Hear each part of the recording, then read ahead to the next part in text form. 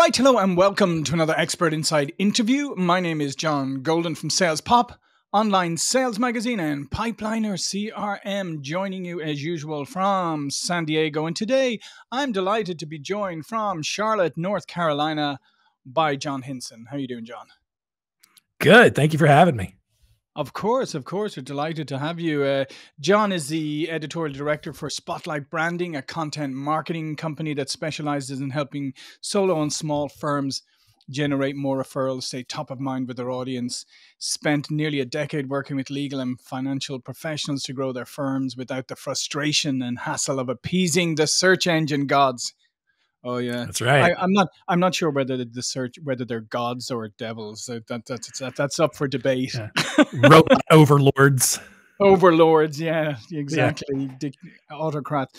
Um, so what we're going to talk about today is how to take advantage of your most valuable marketing uh, asset, which is your audience. So, um, John, let's let's get straight into it. Um, yeah. Why is it that, you know, especially in marketing, you're always running after the new thing and the shiny new toy and everything. But we, mm-hmm.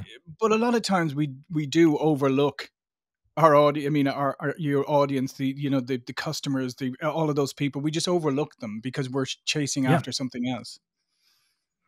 Yeah, you know, I, I think that uh, you know, as the internet kind of rose, and you know, search engines and, and people started gravitating towards that a lot of that stuff kind of got left behind right yeah. you know uh, back before the the internet word of mouth was the best way to gain new customers to grow a business and a lot of that now seems to be forgotten. You know, everyone mm-hmm. is focusing on, oh, I got to get my keywords right. I got to make sure that I'm ranking on Google, and they're neglecting this this network of people. You know, current clients, past clients, uh, other like strategic referral partners that you have. You know, family, friends, leads, uh, even you know lost prospects, lost deals, stuff like that. You know, people who said no or not right mm-hmm. now like there's still value in those people because you have their contact information and, and it just uh, really really lost opportunity really big opportunity for a lot of small businesses regardless of whatever industry they're in to take advantage of that network that they've already grown just by simply keeping in touch with them Mm-hmm. Um, you know, what's interesting about, as you said, I mean, what's interesting about that is, I mean, these are these are here at hand, right? They're you don't have to go looking for them; you know where they are. Um, mm-hmm. But as you say, we rarely do a lot with them because we're, I guess, if you go back pre-internet times, right? It's hard work it's hard work mm-hmm. to do it and i think that's part yeah. of the problem now is that there's so many buttons you can just switch and go oh well i'll just fire off a campaign or whatever but actually nurturing yeah. your your audience that takes some hard work yeah, well, also, admittedly, it's not really sexy. Like, yeah, it's not true. the most exciting. It's not the most exciting thing. It's it's uh, I equate it a lot to hunting versus farming, right? Like mm-hmm. hunting, there's some excitement to it. You're going out, you're going and trying to find something new to bring back. You know, that's that's the cold lead generation mm-hmm. side of it. Farming is you're just tilling your fields, you're doing the same thing, you know, and, and you're cultivating what you already have. And so it's reasonably less exciting, but the the difference between hunting and farming is hunting is not guaranteed, right? You you're not guaranteed when you go out that you're going to find something whereas farming you see what you have in front of you and it's up to you and and, and there's more that you can do to cultivate that and, and help that stuff grow and get more out of it more consistently. Yeah, and I think that's a really I, I love that analogy because I think it's a really good analogy for for this because if you think about it, uh, when you're when you're far, you're nurturing and you're the timing is the thing because that's what a lot of mm-hmm. people uh, give up on, right? It's like you know they ask for a mm-hmm. referral, they don't get it immediately, so they go, "Oh, well, I asked, they didn't have any," and don't right. realize that it's not top of mind for me a referral for you right now. But if you if you remind me over time, maybe then, or you incent me, or you you know build a relationship mm-hmm. or something, then I'm more likely to think, oh yeah, yeah, yeah, I should refer those. And therefore, the farming part, as you say, while it's not sexy, it has has more predictability about it, if you like, if you're prepared yes. to put the work in.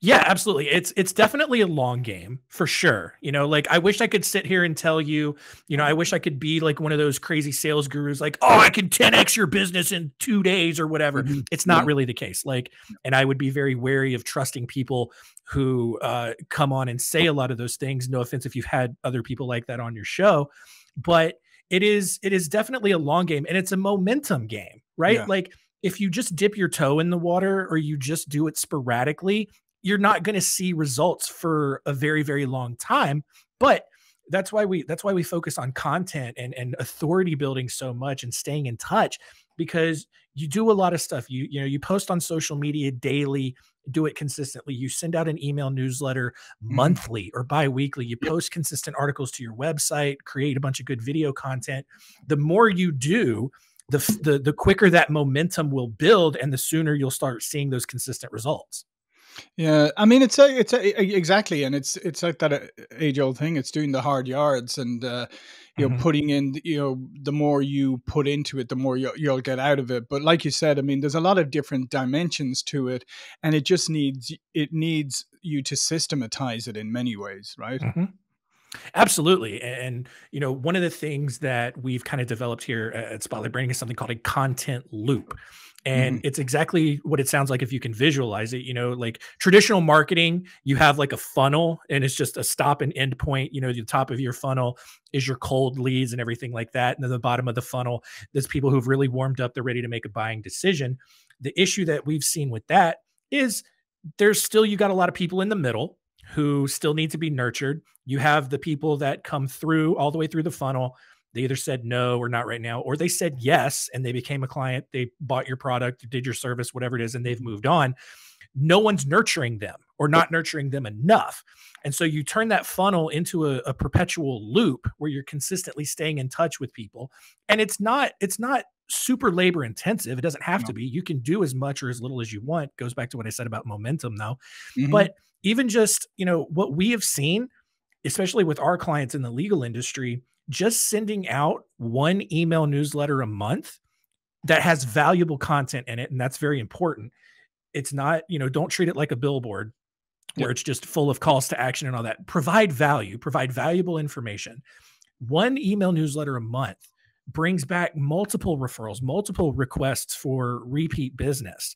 And it's one, it's one action a month and then you know you pair that with some social media uh, and, and, you build out a really robust website full of really great content and you can really start to generate a lot of good momentum that way yeah and and i think that's a i i i think that's a really interesting point because if you think about it back in the day right if you were looking for an attorney or whatever you know you might mm-hmm. sort of call up your buddy and say do you have an attorney or people you know can you refer me to an attorney um, kind of nowadays people do less and less of that i think you know that sort of calling up and they do their searching and all of that kind of stuff.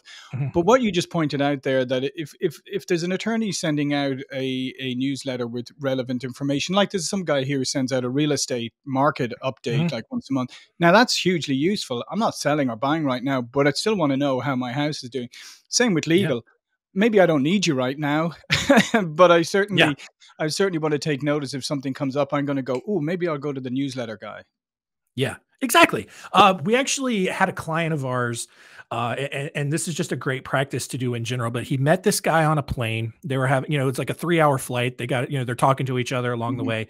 Our client tells him, like, "Yeah, I'm a business attorney down in Miami. I do this, this, and this."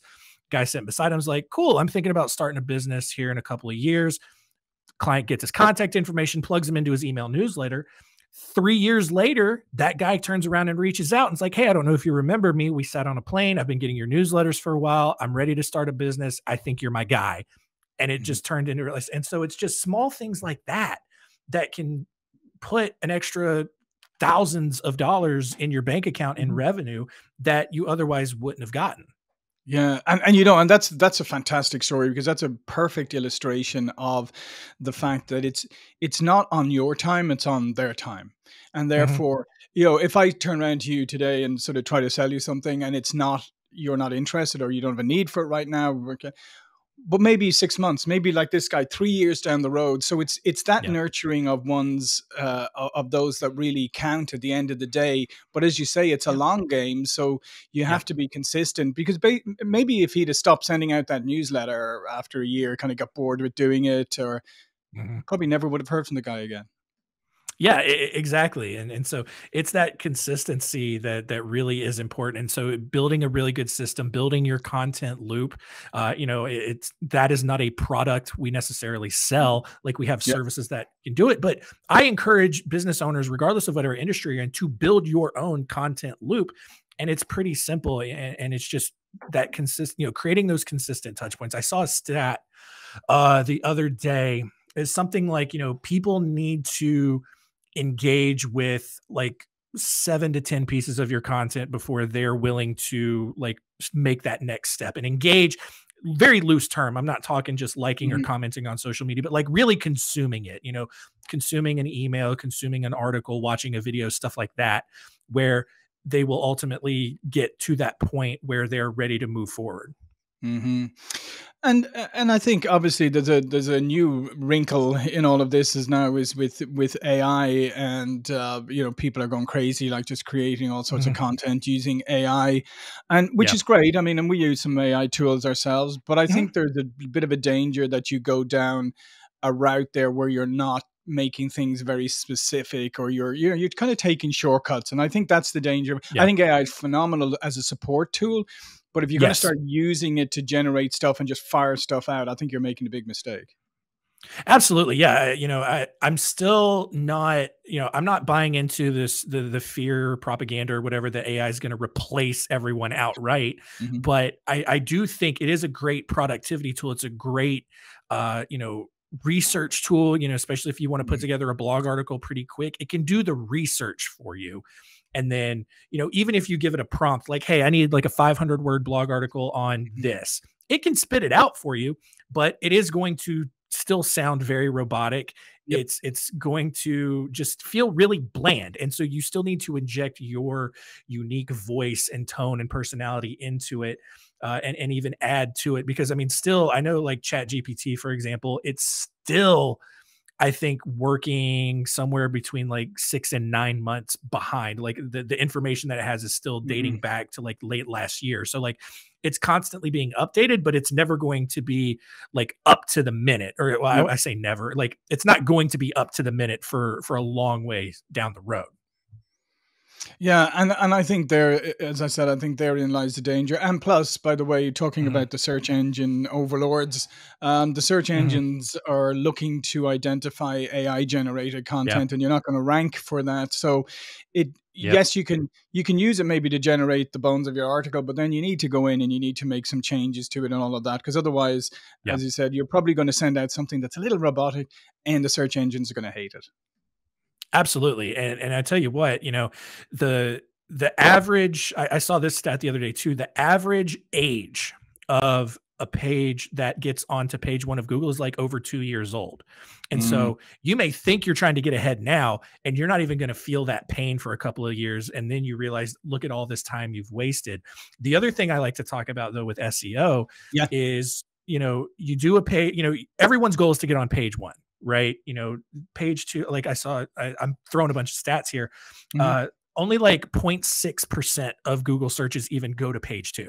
So you're really right. trying to get page one. There's 10 results on page one of Google.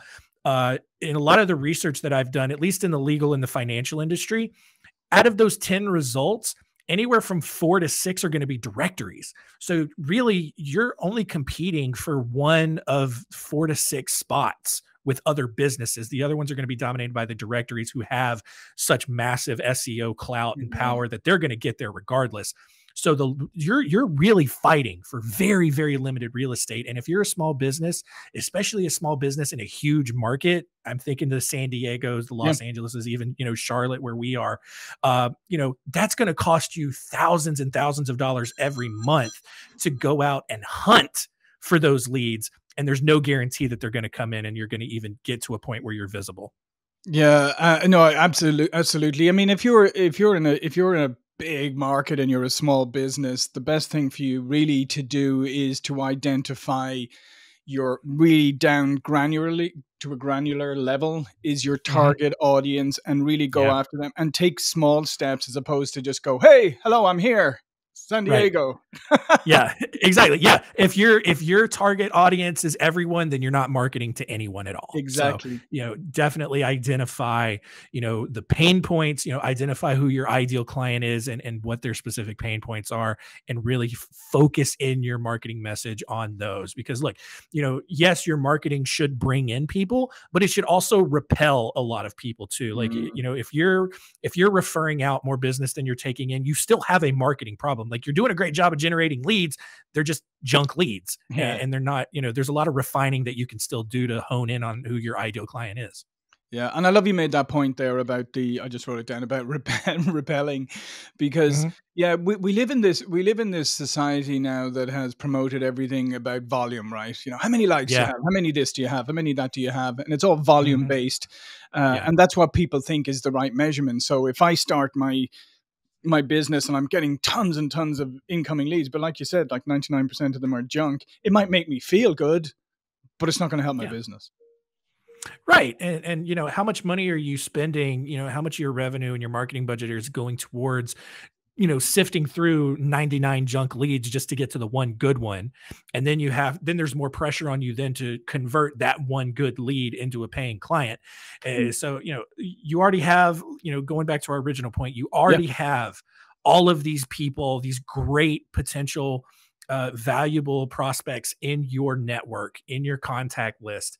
Go after them and, and really do that. Uh, you know it's it- there's a bunch of different i've seen a bunch of different numbers but uh, it costs anywhere from like five to ten times more money to generate new business from cold leads than it does your existing audience and Mm. and for a small Mm. business trying to be smart about their budget and and trying to you know really have good effective marketing that's where the gold is Yeah, no, absolutely. And then it, it- part of it then means that the customers that you do attract is you really want to give them an experience that differentiates you. So, say, go back to your attorney even example, right? I mean, if you Mhm. said to people, "What's the difference between these attorneys?" They go, "Mm, "I don't know, they're attorneys." Um, maybe Mhm. they, you know, if they're all like, say, they're all criminal or they're all whatever yeah yeah yeah most people have no idea what differentiates and therefore i think that uh, you know and if they if they do whatever they said they're going to do you think okay cool i got what i wanted but there's Mhm. no differentiation Right, right. And, and the way that you do differentiate yourself is through building that, you know, providing that value and, and giving that information, you know, like your social media feeds. And I still see this a lot with the legal industry. They basically treat their Facebook timeline like it's a billboard that they mm. purchased 30 mm-hmm. years ago at the same street corner, right? It's just call our firm, call our firm, call our firm, book a mm-hmm. consultation, book a consultation. It's like, no, you you can control the message and, and you can provide a lot more value. And you know the way that we uh, you know we, we as consumers make decisions now and and really vet the people that we work with people are much more likely to build that connection and build that rapport and trust because that's Yeah. a big issue you know they are more likely to trust that firm or whatever business that you're in that can effectively communicate their understanding of your situation more so than the firm who's just like yeah. Yeah. call us yeah absolutely and then and then just the the the final thing is um and this is an interesting thing as well is if you do engage with somebody or customer or and just take the legal profession right um if i'm working with the Mhm. criminal attorney right I mean, there's a great opportunity for that attorney to say, if you ever need these other services, here are other attorneys that I trust. You know, if you trust you and you trust, and that's hugely valuable. Now I'm going, oh, this isn't my just my attorney. This is a resource to me. Absolutely. Yeah. You know, and, and one of the things that I like to tell people is like, you don't have to just be this transactional p- period in people's lives. You know, uh, like family law is a really good example, right? Like, you don't have to just finalize someone's divorce. You can help someone prepare to make that decision. And then after the divorce is over, you can provide value by like tips for getting back into Yeah. the dating pool or tips for like rediscovering your passions or, you know, being able to find closure and move on and stuff like that. And so finding ways, you know, before, during, and after to provide value is really what's going to set yourself apart. And you do that through the kinds of content that you're putting out. There. Yeah, no, hundred percent. And I think it's such a great opportunity. And I think the great thing nowadays is for small businesses is that you you've got reach, uh, and how you use that reach mm-hmm. is the important thing yeah especially with social media and you can control uh, how much you kind of got to pay to get that privilege but you know even just boosting a facebook post for a mm-hmm. dollar can get you in front of five times more people than just how you would organically and so you know if you're only getting 20 impressions on your post boosting it for a dollar you can get 100 yeah and and you can control that 100 you know you, in, into a very specific geographic area by very specific interest and education levels. It's kind of scary how detailed you can get with that but that's also kind of just the marketing world. But you know yeah you have so much control over who you can get in front of yeah absolutely. Well listen john thank you for those insights. Uh, those are fantastic. All of john's information will be below this video. But before we go john please do tell people a little bit more about you and what you do Absolutely. Yeah. So, like you said up front, you know, uh, Spotlight Branding, we provide content marketing services uh, mostly for solo and small legal and financial firms.